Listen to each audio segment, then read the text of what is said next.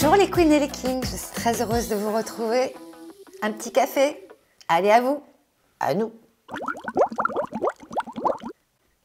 Hum, Il est un petit peu chaud. Bon, c'est bientôt Pâques.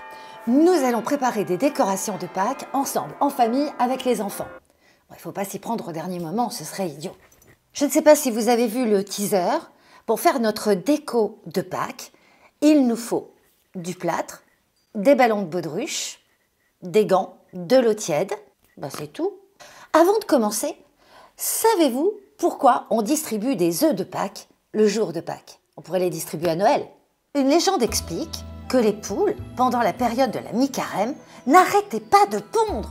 Et des œufs, et des œufs, et des œufs, il y en avait partout. Et comme les œufs ne pouvaient pas être consommés pendant le jeûne, qu'ont-ils fait avec ces œufs?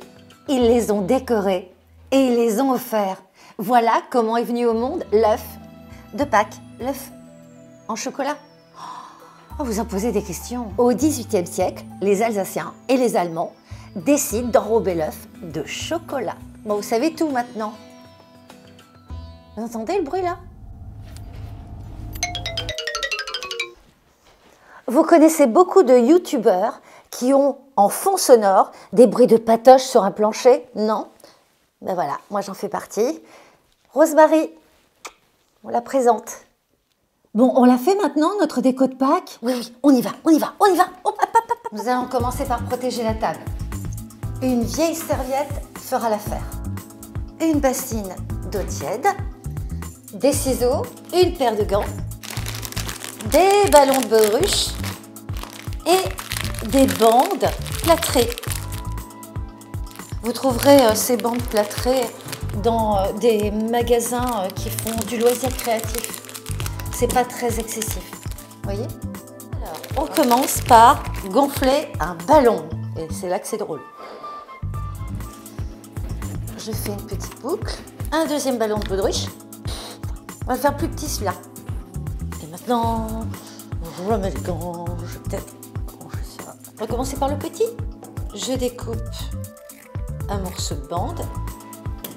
Je le trempe dans l'eau tiède et alors vous verrez, ça, le problème c'est que ça peut se, coller un petit peu.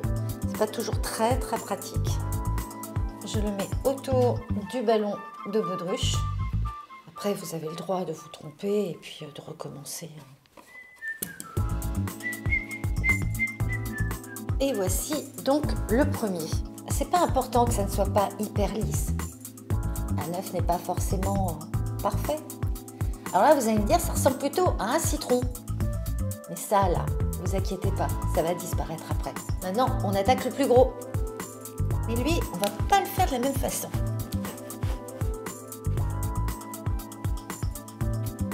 Je l'ai pas fait entièrement. Vous avez compris pourquoi? L'œuf qui a cassé sa coquille. Vous vous posez des questions en vous disant mais elle va pas laisser ce ballon de baudruche, c'est moche à l'intérieur. Vous verrez tout cela quand nos cocos seront secs. Et enfin, nous y sommes, ils sont secs. On va pouvoir...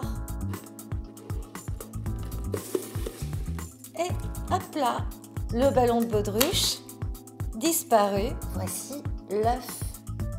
Ce qui donne l'impression que le sommet de la coquille a été cassé. Alors vous pouvez le remplir de bonbons ou mettre une guirlande lumineuse à l'intérieur, ça fera très très joli. Le petit qui ressemblait à un citron, même chose. Il reste un petit trou. On va juste l'agrandir un peu. Très facile à découper. S'il est découpé grossièrement, ça fait encore plus naturel. C'est juste pour vous donner une autre idée. Avec ce petit, vous pouvez faire quelque chose de sympa. Des guirlandes lumineuses. Vous en mettez plusieurs et vous pouvez faire une guirlande avec plein de petites boules en plâtre. Bon, il fait jour, on voit pas très bien la lumière, mais je vous assure que le, rendu est, est, très joli. Les enfants peuvent dessiner dessus, euh, les peindre. Vous pouvez poursuivre en vous amusant. Vous avez plein d'idées de déco avec ces œufs en plâtre. Regardez, vous pouvez faire plein de choses avec ces bandes de plâtre. Et de loin, on a l'impression que c'est une poterie blanche.